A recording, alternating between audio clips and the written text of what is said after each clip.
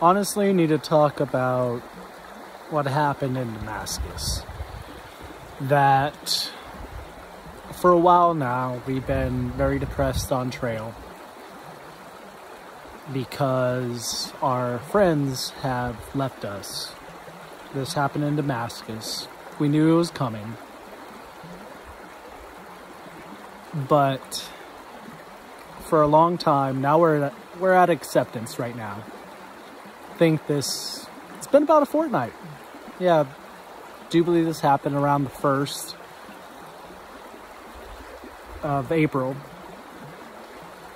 But our friends, they're at high mileage right now, doing about 15 to 20 miles a day.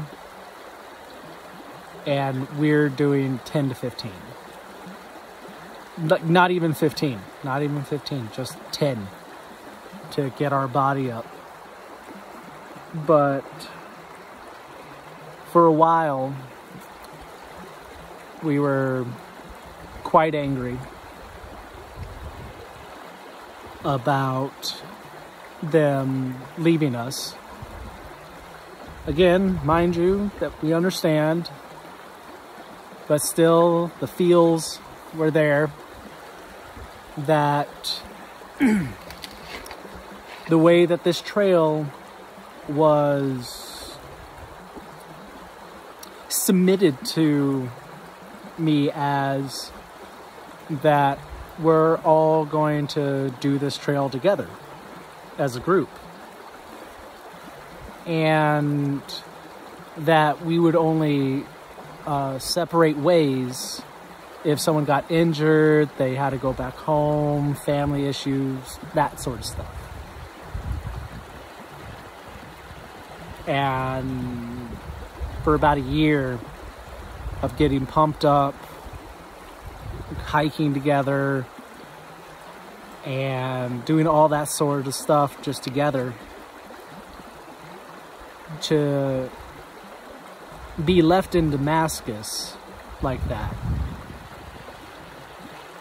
What we feel is that if I was just a misbehaving dog and they just drove me out to the country somewhere, kicked me out of the truck, and drove off. That's how it feels. That's not how it is, that's how it feels. And it's heartbreaking. It really is. And we feel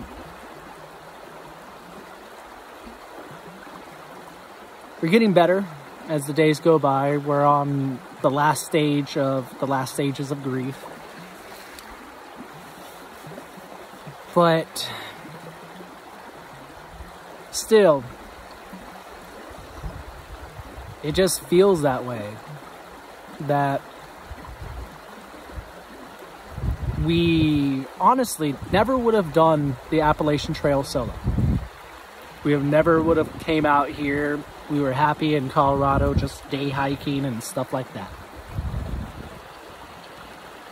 So honestly, that's that's just how I feel. That they pumped me up for this, got me over here, and then said deuces. Hope you find a new tramily, a new uh, group, just still reeling from it. Still have a lot of feels in here. But then again, we're not, we're angry about the situation, not angry at them. We understand they have to go on. They're doing awesome mileage. I'm very proud of them for them doing that amount of miles. We just can't. Our body won't allow it. And that's just unfortunate. But now we're out here soloing it. We don't have to worry about them anymore.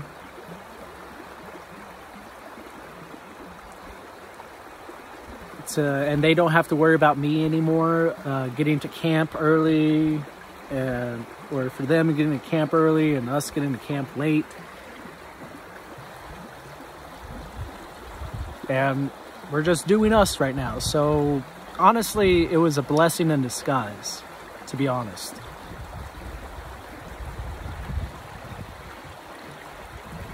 and we can just do whatever we need to do now have no responsibility, other responsibilities other to ourselves. So it's is getting better as the days go by. Currently, they're almost to to Petersburg, Petersburg, something like that in Virginia, and Where are we at?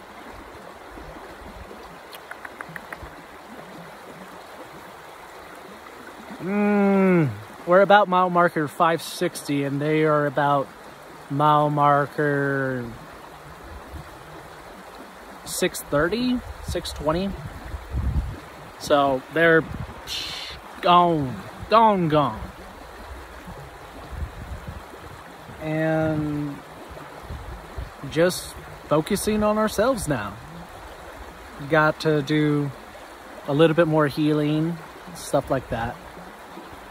What we have also stopped doing until we get to camp is smoking. We've noticed that smoking doesn't, it drags us down. And we don't need that, especially while climbing thousands of feet in a day thinking about doing this next mountain. is 2,000 feet to the shelter of incline. And thinking that it's about four miles. So we would be doing a 14 miler today. Not sure. Because it's going to rain tomorrow.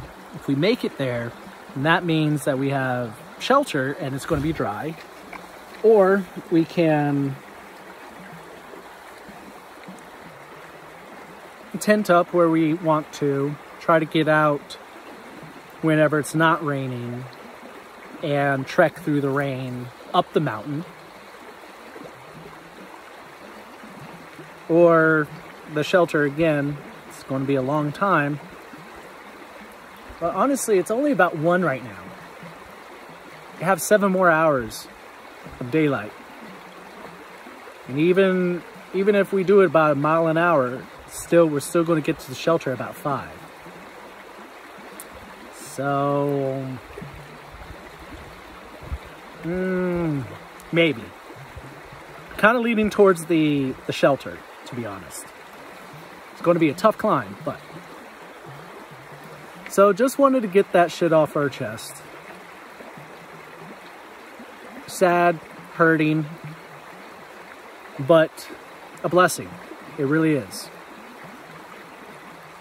hope that, well, again, this is part of like the bargaining type thing, that whatever they do finish the trail, because they're going to hit Mount Katahdin and come back to the Smokies, that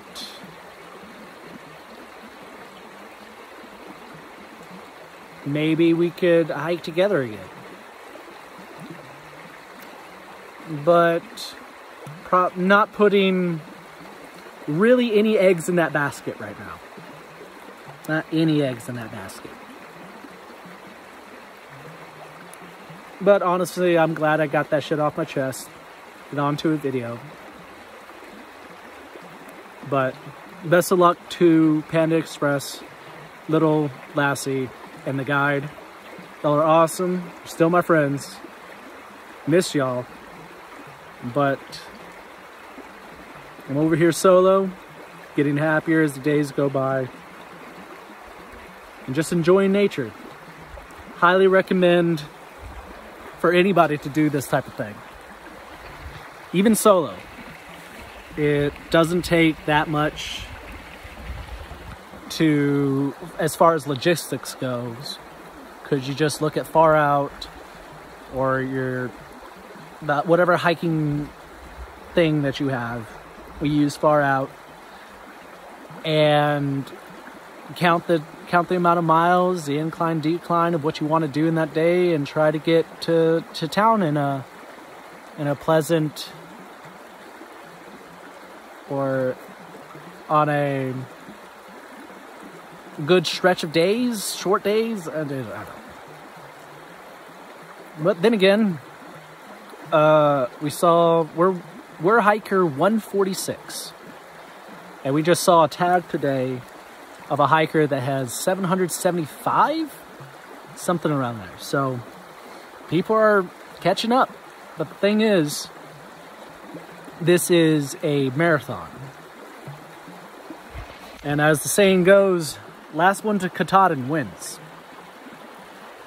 Probably going to be the last one to Katahdin. but you know what? We're going to make it. We still need to head back to the Smokies and do them because we were with the, the dog group and dogs are not allowed in the Great Smokies. It should be only about a week or something like that through the actual Smokies. It's going to be nice. Interesting. To be honest, for right now, we're thinking of whenever we get to Harper's Ferry to actually go up north to Katahdin, do Katahdin, go southbound, hit Harper's Ferry again, and then do the Great Smokies. Yeah. Maybe what we're going to do. That's probably what we're going to do.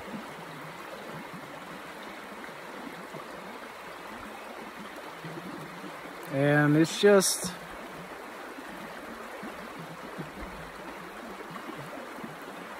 We're getting better. We're just getting better every single day. We're getting a tan, losing weight. Our mind is a little bit better, to be honest.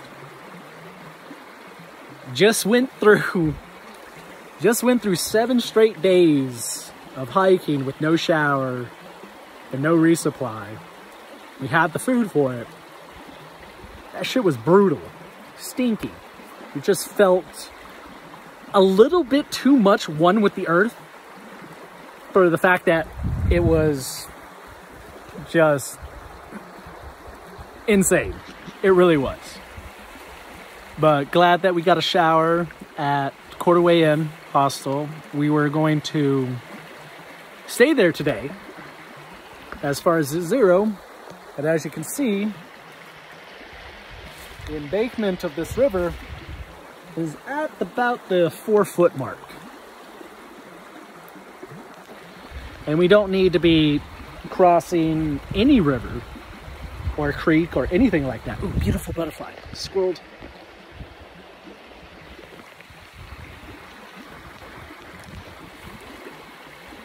At High River. It's going to rain tomorrow. It's going to rain the next day. I think it's going to rain the next day afterwards. So, no, we don't need to cross this bitch, especially after three days of rain. Don't even think that's going to be possible. But yeah, cuz we're getting it. Squirrels absolutely nuts. Gotta say that. Our feet are getting a little bit dry from this creek now, and it's about time for socks and shoes and to get the fuck out of Dodge.